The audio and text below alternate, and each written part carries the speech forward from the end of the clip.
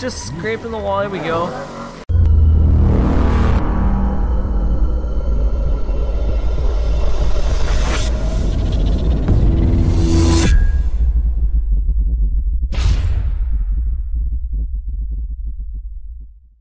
What's up everybody and welcome back here to Assetto Corsa for a bit of a drift car review video. I did get the keys to a VDC E92 from one of the members of the usual suspects. Definitely looks super amazing. Achilles Radio's usual suspect. Livery looks awesome and the body kit and everything that he has on this car looks pretty sweet with the, you know, diff, exposed diff, rear rad fans, the uh, exhaust and that really interestingly cool rear window that has usual suspects logo on the back. the vented window for the rear radiator with the fin and everything like that. You can see the radiator through the top. Definitely a very, very well done model. Definitely like these VDC custom cars. So we are starting kind of like a VDC custom race car um, review, you know, series. We're starting off with this, you know, get the keys to these personal VDC cars and uh, rip them around a couple tracks. You know, give my honest opinion about them definitely do love how the E92 looks and uh, sounds for sure. So we're going to get this car to the track and definitely see how it handles because while sitting here it looks good and uh, I love all the detail work in it. I definitely love how this thing looks. Super excited and super thankful to get the keys to this car. So let's go because it's definitely hard to get personal cars from VDC competitors to allow you to drive them. So we're going to close Steam right there. We don't need that open right now. So we're going to go take this to the Proving Ground basic track, and then we're going to take it to some, maybe some VDC car tracks and everything like that. So let's get to it. We're just going to head right into the Proving Ground and just send this right away. Get the wheel cam and everything turned on. There you go. So sounds good. Belching fires out the top and the back of this car. So I know he's been doing a lot of work on that rear window, and it came out perfect. Looks good with the usual suspects logo. It's cool to see the radiator fans and everything in the back. So VDC cars have a lot of power and a lot of angle, something that I'm not used to driving yet. So this will be a full test of this car. Slim in third. Ooh, just a little bit on the wall. So I haven't driven this new version of this car yet. I drove it a, a, smidge of before he modified the version and everything. So this is kind of a first takeout of this new version of this car, and it it handles, it transitions nice. Rip inside joke for you usual suspects, guys. So the car I feel like if I tweak the gearing and everything, it'd be amazing. And this car handles super well. It's very grippy. It's got a lot of steering angle to be able to come back and catch itself. And one thing I'm not used to, and you guys know from following me in all my competitive attempts and everything, turbo lag is not something I'm very used to drifting with because I like, you know, just power on command, V8, you know, V8 hate, whatever you guys want to say. But I like just being able to just floor it and not have to worry about the turbo lag in school because when I'm chasing, I tend to not know how to keep it in boost and I fall out of drift like there.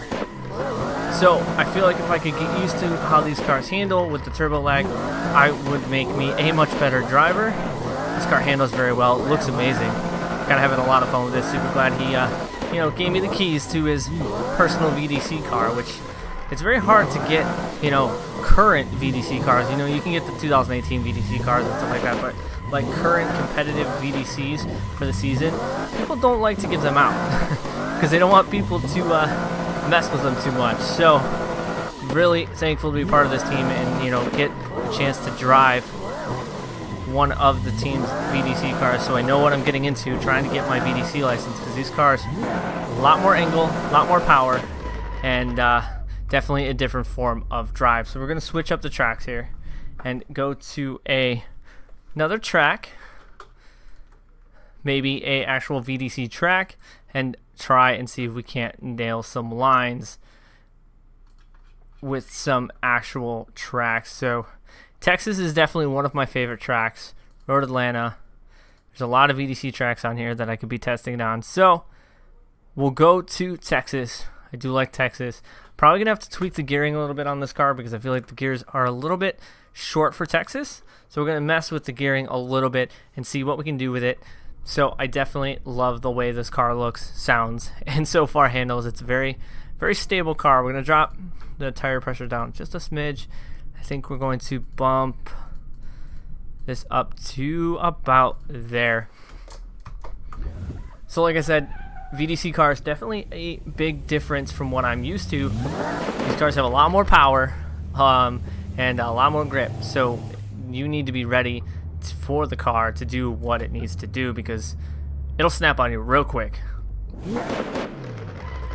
So we're gonna give Texas a shot. We're gonna probably run the new layout, which is outside, outside clip. There's that turbo lag. And see, right there, if I didn't clutch kick, I fell off boost, so I don't think the gears are set right yet. Oh, taking out those. Way off. So gearing is definitely not where I need it to be. So let's go back to pits. Tweak those gears a little bit. I gotta find my gotta find my keyboard here. There we go. Uh, let's see. Back to pits, gears. Add a little bit more. There we go. Now I probably some people probably saying I'm going the wrong way, but I don't like to be rev banging too too much.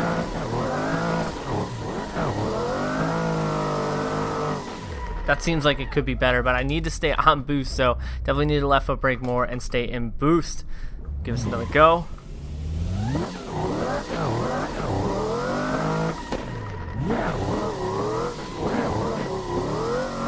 More clutch kicks is what I need to do. See right there, it kind of fell out of boost.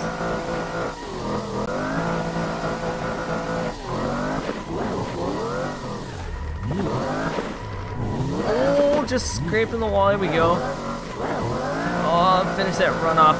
So that wasn't too bad of a run. We're going to take a look at the replay angle of that one. That wasn't too, too bad of a run for first run out with this, you know, E92. And it is uh, definitely a different style of driving these VDC cars. So I need to work a little bit on not angling out as much as I am right now. We're pretty good on that clip though. Nice quick snappy transition. We would have been right on those. A little wide there. But I feel like this was almost perfect. Filling that zone. Just a little wall tap. Then we over angled there. So I need to work on the over angling aspect when it comes to these VDC cars because they have a lot more angle than the cars I'm used to. So I need to dial back, I guess, my angle so that I can drive them a little bit better. But it's so nice to get my hands on VDC cars that are currently, you know, the specs so that I can see what I'm getting myself really into when trying to get my VDC license.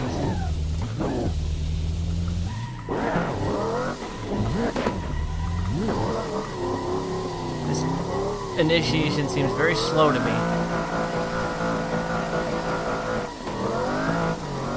Oh, taking those clips out, running that way wide in the dirt. Definitely not the best run at all here at Texas, but starting to get the hang of the car. So the car handles pretty well. I just need to do what I need to do. So we're going to go to another, I think we're going to go to a DCGB track. Trying to find where I want to go. I kind of want, kind of want to go to Long Beach. So we're going to go to Long Beach. It is a VDC track. Definitely love Long Beach Circuit when I was on Forza, one of my favorite tracks to do tandems with. So we're going to run this. Make sure you guys follow me on Instagram and Twitter, all of which are found in the description box below. Now we need to tweak generic last, load that. We're going to try the gearing and everything that I set last time. So if you guys keep wanting to see these basically drift reviews on other people's pro cars and other cars, let me know down in the comments because it is very fun. I used to do this on Forza with custom tunes. If you guys have a VDC car that you uh, would like me to give a shot, let me know down in the comments. We can get in touch on Discord and uh, I can get it downloaded and I can do a little bit of a you know test drive on your VDC car. So let's heat up the tires a little bit.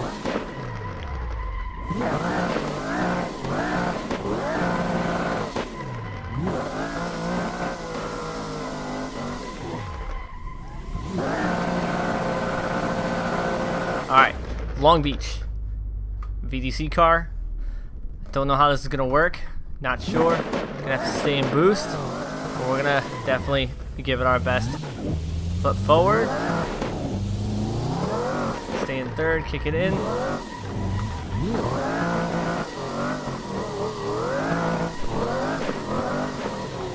Definitely different than on Forza, but oh, that's not different. Ugh. Oh. So we didn't wreck it too bad. We just went a little bit deep in that outer zone, coming into the wall, so we're going to give this another go. Whew, Long Beach, definitely a fun track. It feels so much different here on Assetto Corsa than it does on Forza. We got to get it going. I got to get, you know, myself comfortable in some VDC cars. Because I know a couple of you guys were saying that DCGB cars are crap, but they're actually fun to drive. But the VDC is definitely where I want to be. So, VDC cars definitely going to have to get my uh, bearings straight in these cars. So let's go. The car is doing what it needs to do. I am just not.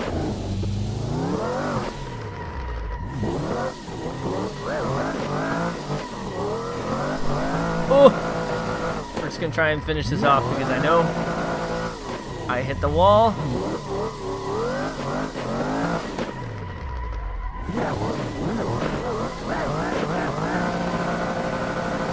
Definitely have to bang that in second gear. So, getting a little more comfortable in the car. So, my overall impressions of this E92 VDC car is it looks stunning. I love how it looks. The handling characteristics are pretty good.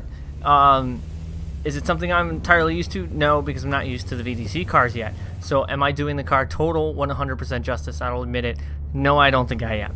Uh, the actual, you know, owner or other pro VDC guys would definitely probably do this car more justice than I am.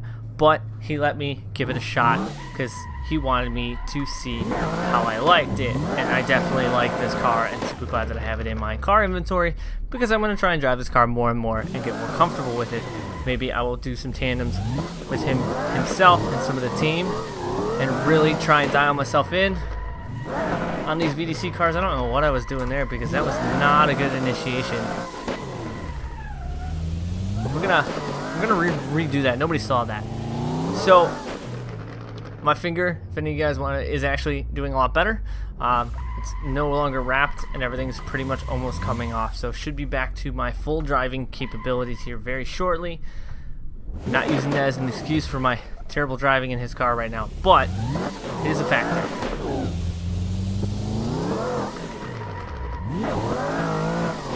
I should not e-brake that long. Alright, I was off the wall, but we're going to try and get a full pull here